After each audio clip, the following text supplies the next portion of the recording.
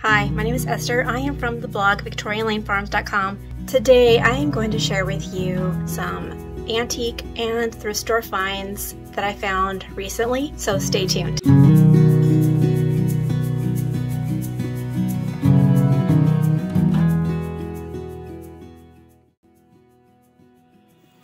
Before I get started, I'm grabbing myself a cup of coffee.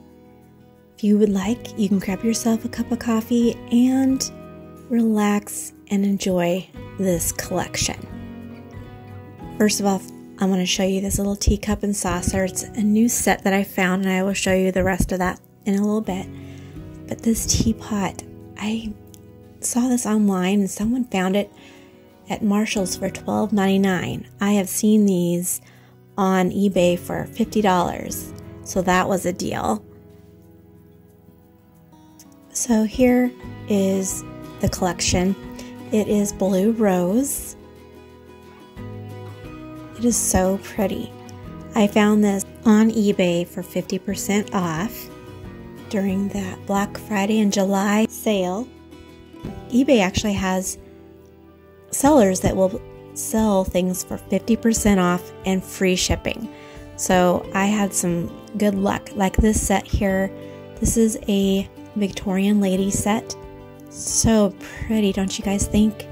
My plan is to share some videos how to put on a tea party. And I'm really excited to share that with you. So make sure to stay tuned for that.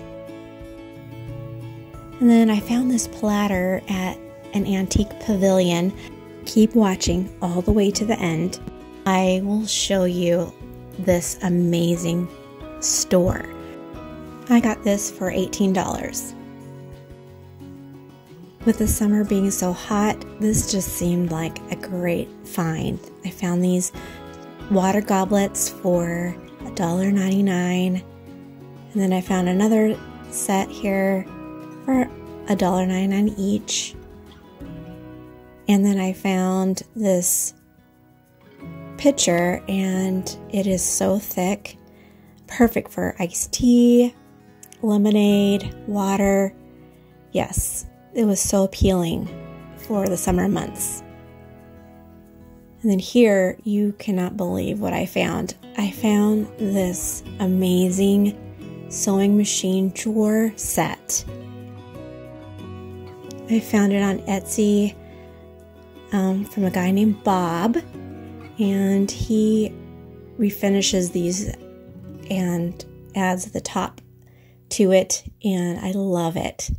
And check out the sides. This guy did a really good job making these look so beautiful. It's very intricate. I love it. What do you guys think? This is a Victorian era 1800s Middleport Burgess Lay non parallel flow blue pottery teapot. I think I hope I didn't butcher that. Isn't it beautiful with a gold trim? I love it. I have been eyeing this for a long time. It is very expensive, but I think this one was on sale because it has some hairline cracks on the bottom I will never be able to use it to make some tea, but I just thought it was so beautiful. I look forward to decorating with it in my home. Love it so much. What do you guys think? Next is this really pretty crystal candy bowl. I bought this for $5 I just love the details. It has a marble bottom. It's so pretty to add to the side tables in my living room. And here is a gravy bowl that I'm actually using for my jewelry on my nightstand. The moment I saw it at Goodwill for $3.99, I was like, yes, this is perfect for my makeover. This is Habsburg China from Austria. I think that's pretty cool. But here it is on my nightstand next to my bed. And here's a quick view of my makeover. I actually will link down below the summer tour that I share with you on one of my YouTube videos. I love the way this turned out. This is the bouquet of flowers for my bedroom. Aren't they beautiful? I wanted to show you this green bottle. I found this at Goodwill for $5.99.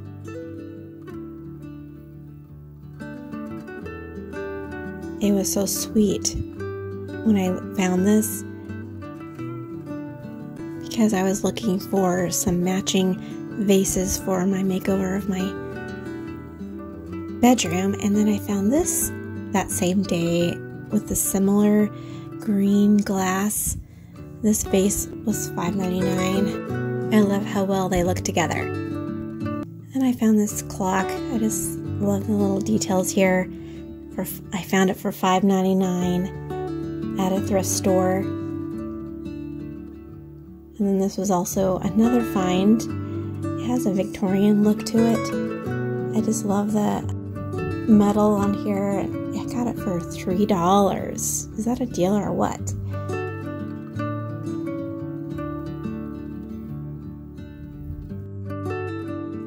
Has these crystals like my chandelier. So pretty. Now I am going to take you to show you a secret spot in this antique store. It is an antique pavilion in Edmonds, Washington. Um, you go up these stairs, and then there's these aisles of antiques. It is huge, but if you go in the back, there is this basement, and down below, you will see all of this furniture, and this is only a third of what is in this basement. It is crazy. And there, I found this coffee table. It is so pretty.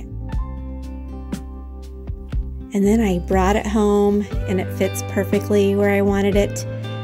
I actually have plans to redo this um, fireside room, but look at the details. In the wood, the store clerk noticed the water damage on there, but I didn't care.